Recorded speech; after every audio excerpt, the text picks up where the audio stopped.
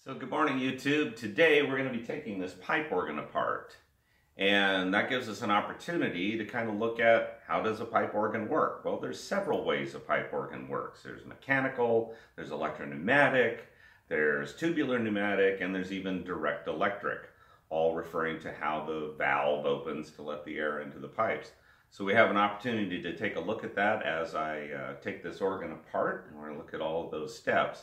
By the way, the shirt I'm wearing features the artwork of my wife, Aileen, and you can go visit her website, aileenimperatrice.com, to see more of that, and I'll leave that link in the video description. So let's start by taking a look at how this organ works. So first let's take a look at the console area. Like any organ, pipe, electronic or otherwise, we've got keyboard and we've got pedal board. We've got a foot shoe for expression and a couple of other toe piston type things to do some different functions on the instrument. Then we have stop controls to turn on and off the various ranks of pipes in this case. Now these are draw knobs, so you pull them out and I'll show you what happens when that works.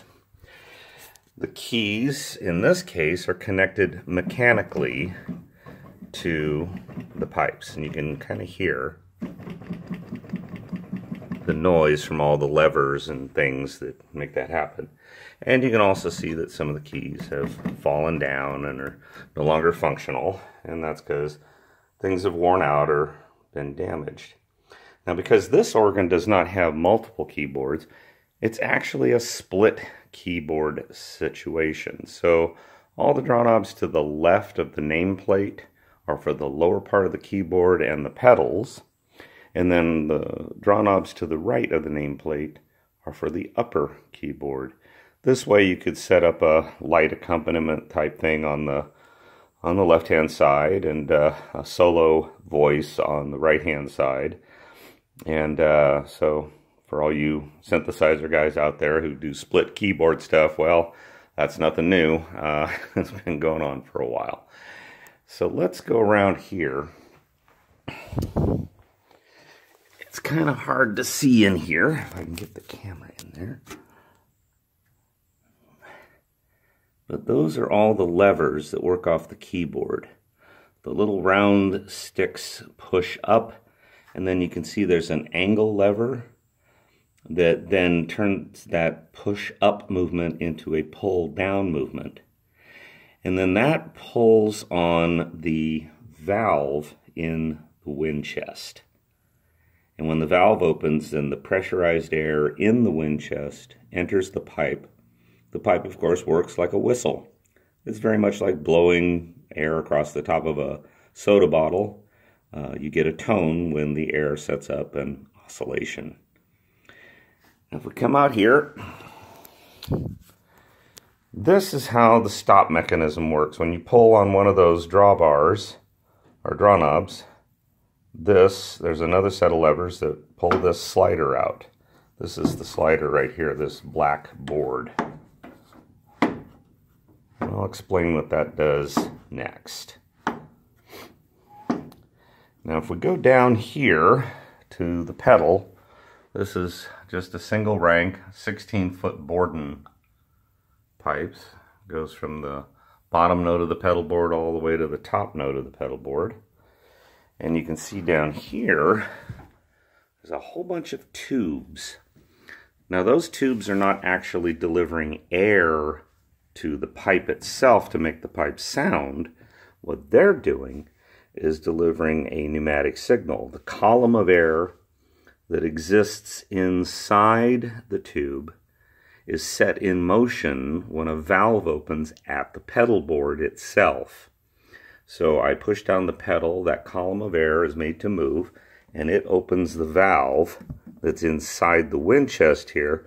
That valve opens up underneath this uh, toe board where the toe of the pipe is, and the air enters and it allows the pipe to speak.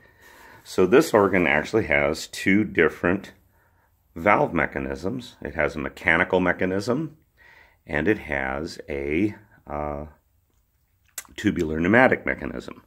Also on the back side, you can see the opposite side of the keying mechanism. Now we saw the levers at the front end and they're all squished up against each other, spaced to the same spacing as the keyboard. You can see back here that those levers have been fanned out because the width of the wind chest is much greater than the uh, width of the keyboard. And the spacing is not even. The valves are closer together at the high end where the pipes are short and close together. And then the valves are spaced out a lot further. So these are what's called trackers. So when I hit the key, that lever turns like that. And you can see that that wire pulls down. And that's what opens the valve for all the pipes on that note. There are, we don't necessarily want all three ranks of pipes speaking all the time. So we have the stop mechanism, the draw, draw knobs that move these sliders out. And when these sliders are out, when the stop is out, the pipe is allowed to speak. When the stop is in, then the pipe doesn't speak. The valve still opens, but right now, nothing is speak would speak. If I open these up, all of them, now I've pulled out all the stops.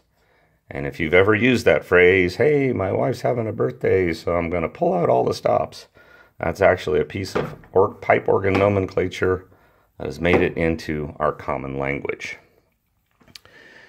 Now you'll see there's a whole bunch of other tubes here. Now what this does is transfer that open valve uh, air over to these display pipes. Now obviously the trackers I showed you are in the order of the keys. So the tall pipes would be over on the left of that big box there and the short pipes, the high pitch pipes, would be over on the right. But you'll notice this front set of pipes, they're not in order. They're not chromatically laid out. So how do I get the air over to the pipe? Well, that's what these tubes are for. So the valve that is needed is actually inside the wind chest here. And here's our slider for the principal, the front pipes the valve opens up and then the air enters one of these tubes. So this is similar to that tubular pneumatic valve mechanism, only this is the air that's going to actually make the pipe sound. Now you might think, okay, the valve is clear back in here, and then it's got to go through all of that tubing to get over to this pipe to make it sound. Isn't there going to be a delay? Actually, no because the air column inside the tube does not move in a chain reaction. As soon as the air at one end of the tube moves, the air at the other end of the tube moves.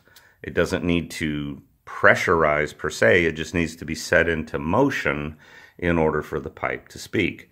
These tubes can be of significant length and not cause any issues really to speak of. Get some more light on that so you can kind of see it. You that doesn't help much any rate, so that's how we make a decorative set of speaking pipes on an organ. Now, the other way to make a decorative set is to just use fake pipes. That's done a lot, but in this case, all of those front pipes do speak.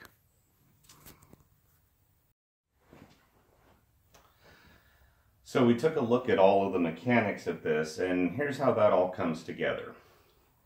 When I hit a key, all of that leverage goes back here, opens the valve for that note. All of the pipe ranks, say that's low C. Okay, so all of the pipe ranks, there's three in the box here and one in front. All of those notes are, the air is potentially entering into those pipes, all four of them. To control which pipes are speaking at any given time. So say I want the open flute or the Gemshorn or the string or whatever. Um, the slider is used. And so the way it's set up is you have the top board of the wind chest and then there's like a box around that. And then there's holes drilled in that top board. And those holes correspond to where the pipe is going to set. The valve sets inside that, and when you pull down on it, the valve opens. Then the air can go into that channel and allow that pipe to speak. Above that is the toe board, and that's the board that the toe of the pipe actually sits on, and there's another hole there. In between there is the slider. The slider has holes in it as well. When all three holes are lined up, then air, when I hit open the valve, then air is allowed to go into that pipe. And that's what this slider is all about. In this position, the slider is not in line, so the air can't get to the pipe.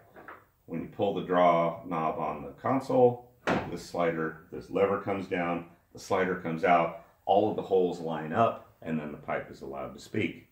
It's the same thing for the tubed pipes in the front. In, those, in that case, the air in this setup is allowed to go into the tubes, but there is a stop in front here that controls that.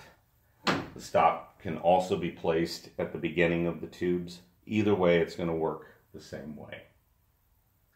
So why in the world are we going to take this lovely organ apart? Well, it's got a lot of problems. It's got a lot of broken parts, needs a lot of work.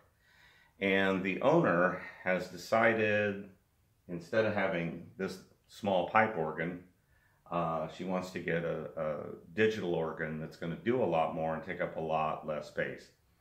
In pipe organs terms, this is a small organ, but it takes up a substantial amount of space in this house and it's not really all that versatile. There's not that much you can do with it. There's four ranks of pipes split over a keyboard, and it needs to find a new home. And that's what we're gonna, what we've been looking for. Perhaps a school uh, would like this as an educational piece or as a practice instrument. Somebody who's like me, really into organs, might want it too.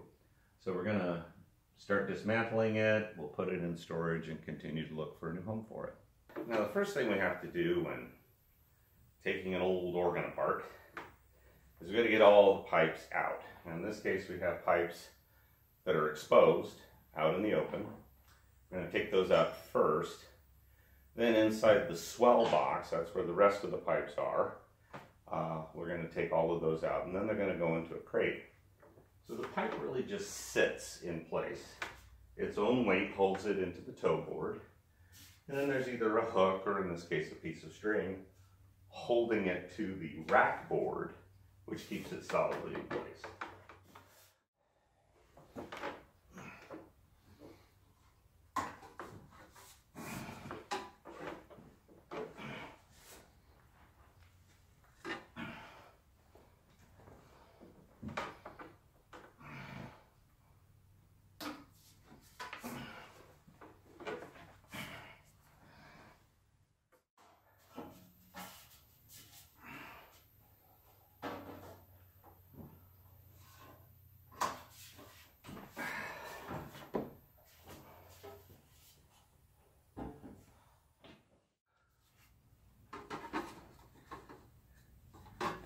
See that each note is slightly shorter as the pipe gets higher in pitch.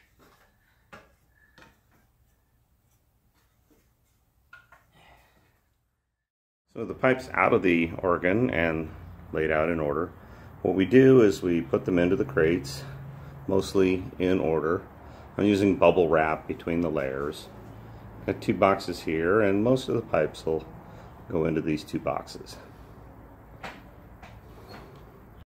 So there you go, that's how we do that. Rank pipes in a box. Thanks for watching and don't forget to subscribe to this channel and make sure you hit that notification bell. There's a bunch of ways you can connect with me online.